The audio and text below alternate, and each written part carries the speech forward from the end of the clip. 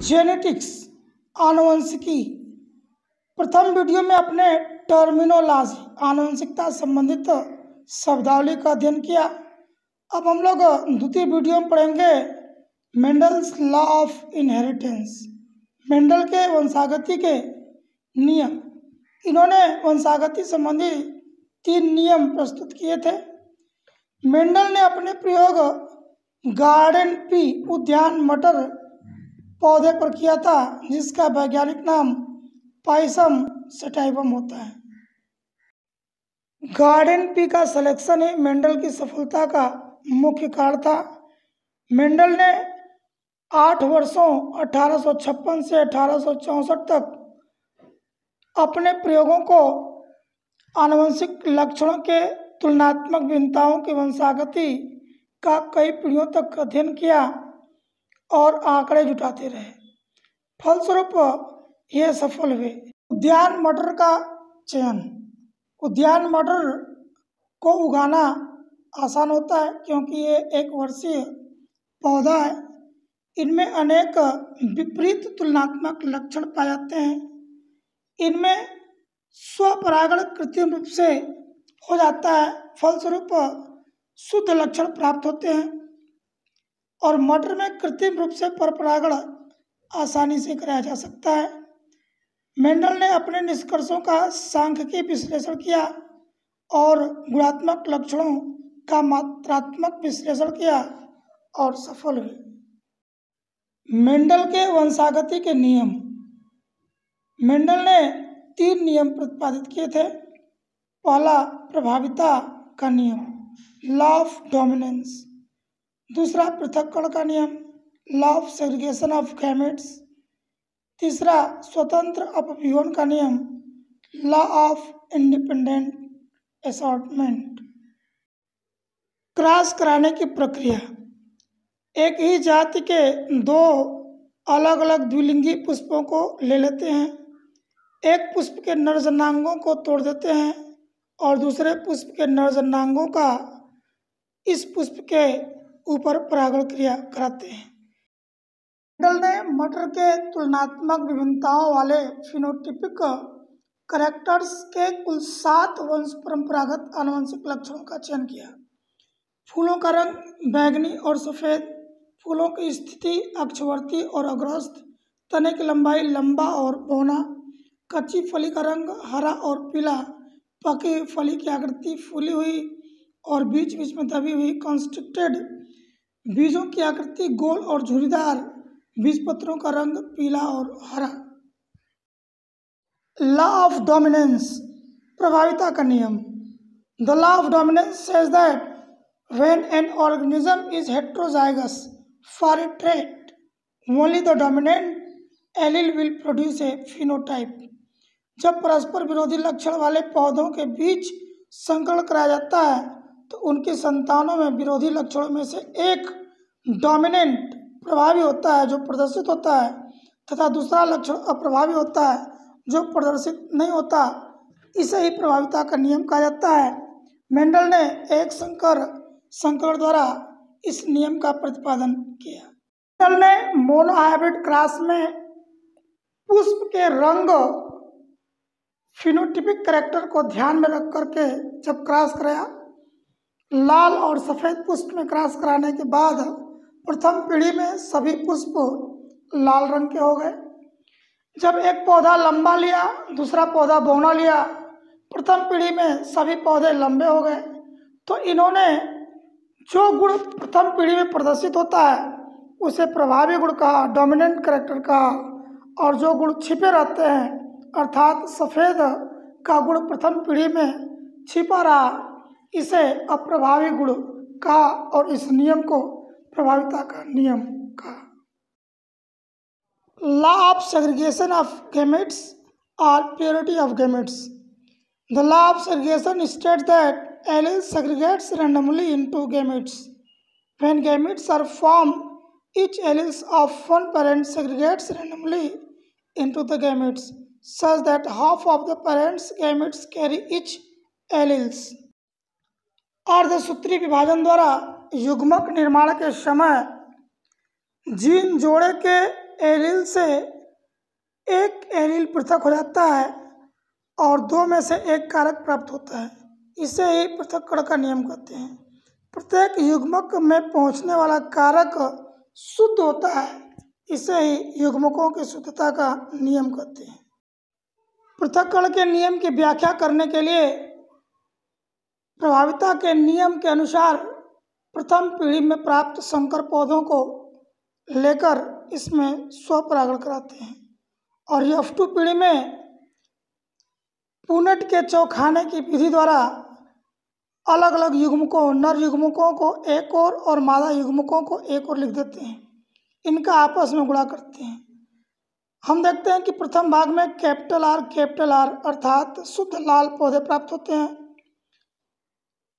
इन दो खानों में कैपिटल आर स्मॉल आर अर्थात शंकर पुष्प। दो शंकर पुष्प पुष्प प्राप्त होते हैं। और तीसरा स्मॉल आर स्मॉल आर अर्थात शुद्ध सफ़ेद पुष्प प्राप्त होता है। अर्थात तीन संबंध एक के अनुपात में फिनोटाइप अनुपात और एक शुद्ध लाल, दो शंकर लाल, एक शुद्ध सफ़ेद, अर्थात जीनोटाइप अनुपात। एक संबंधे, दो संबंधे, एक के अनुपात में प्राप्त होता है।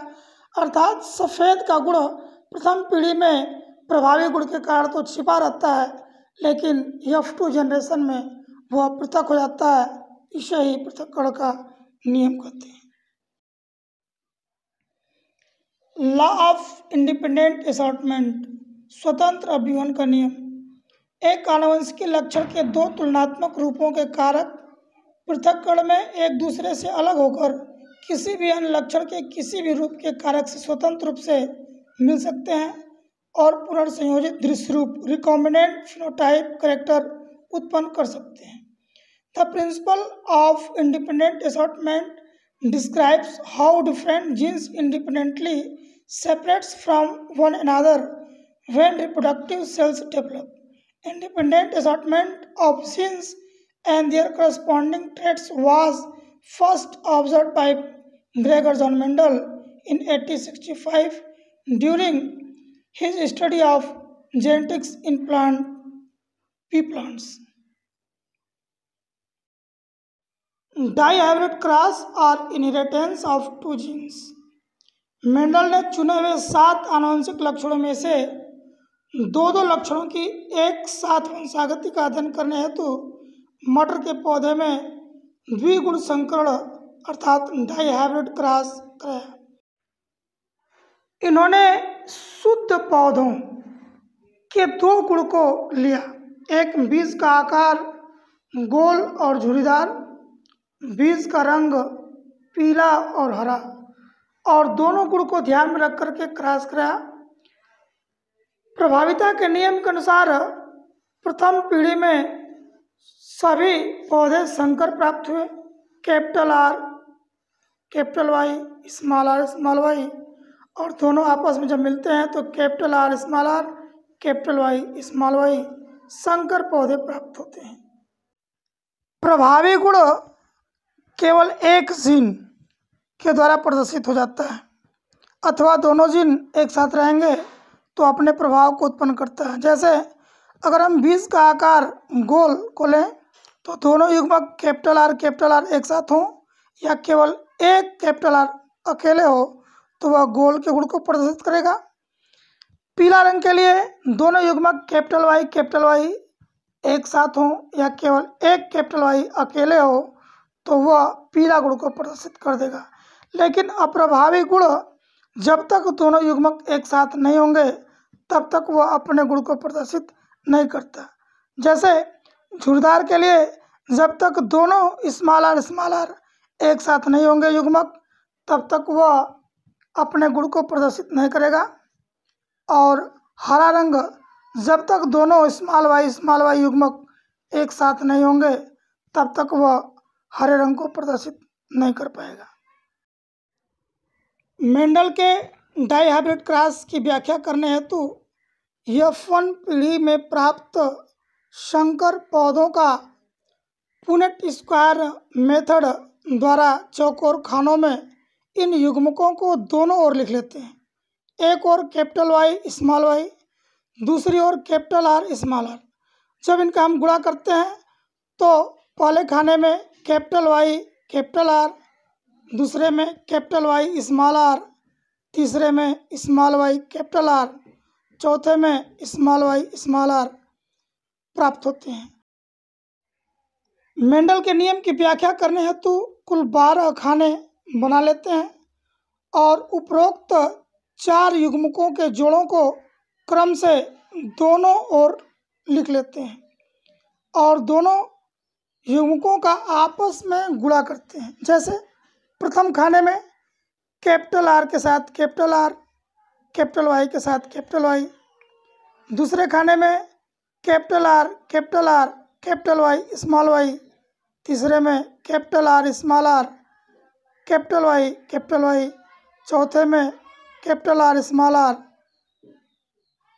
Capital Y, small Y. इस प्रकार बारह खाने में गुणा करके हम लोग देखते हैं कि कुल बारह प्रकार से युग्मक प्राप्त होते हैं। हम लोग पुनेट स्क्वायर मेथड द्वारा युग्मकों को अरेंज करने के बाद ध्यान से देखेंगे। जैसा कि मैंने बताया था कि गोल और पीला गुण प्रभावी गुण है। अर्थात कैपिटल आर कैपिटल आर जब एक साथ हो या केवल एक कैपिटल आर हो, तब गोल का गुण लिखते हैं। कैपिटल वाई कैपिटल वाई एक साथ हो या केवल एक कैपिटल वाई एक साथ हो तो इनका गुण प्राप्त करते हैं। बारहों खाने में युग्मकों को व्यवस्थित करने के बाद हम ध्यान से देखेंगे, जहाँ भी एक कैपिटल आर या एक कैपिटल वाई होगा, वो गोल और पीला का गुण प्रदर्शित करेगा।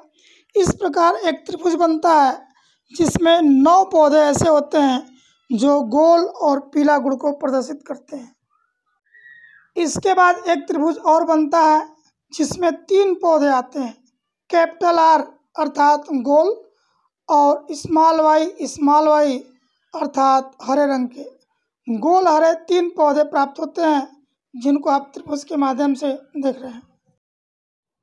और अंत में तीसरा त्रिभुज बनेगा, जिसमें झुरीदार और पीले रंग के तीन पौधे प्राप्त होते हैं। झुरीदार स्मॉल आर स्मॉल आर और कैपिटल वाई पीले रंग का। लास्ट में बनता है small R small R small Y small Y अर्थात झुरीदार हरा। इस प्रकार मेंडल के तृतीय नियम स्वतंत्र अपविवन के नियम में नौ संबंधे, तीन संबंधे तीन संबंधे, एक का फिनोटाइप अनुपात प्राप्त होता है। अब हम लोग मेंडल के तृतीय नियम का विश्लेषण करेंगे। नौ पौधे गोल पीला प्राप्त हो गए। तीन पौधे गोल हरे, तीन पौधे झुड़दार पीले। एक पौधा झुड़दार हरा मिला। यहाँ पे हम देखेंगे कि तीन पौधे जो गोल और हरे मिले, ये नए पौधे थे। क्योंकि गोल का गुड़ जो जो गुड़ था, वो पीले रंग के बीजों के साथ था, लेकिन गोल हरा एक नया संयोग बना है। झुरीदार का जो गुड़ था, वो हरे रंग के पौधों के साथ था, लेकिन यहाँ पे झुरीदार और पीले रंग के बीज प्राप्त हुए, अर्थात एक नया संयोग बना। इस नियम द्वारा यह सिद्ध होता है कि युग्मक शुद्ध होता है और वो अनियमित गति से नए नए संयोग बनाता है। फलस्वरूप, पौधों में विभिन्नता उत्पन्न होती अर्थात, युग्मक शुद्ध होता है और वह स्वतंत्र रूप से एक पीढ़ी से दूसरी पीढ़ी में नए नए संयोग बनाता है, जिसे इंडिपेंडेंट असॉर्टमेंट या स्वतंत्र अभियोन का नियम कहते हैं। इस नियम के अनुसार नए नए पौधों का विकास होता है नए नए जंतुओं का विकास होता है नए नए गुणों का विकास होता है और विभिन्नता उत्पन्न होती है। यही विभिन्नता क्षय विकास का कारण होती है। धन्यवाद।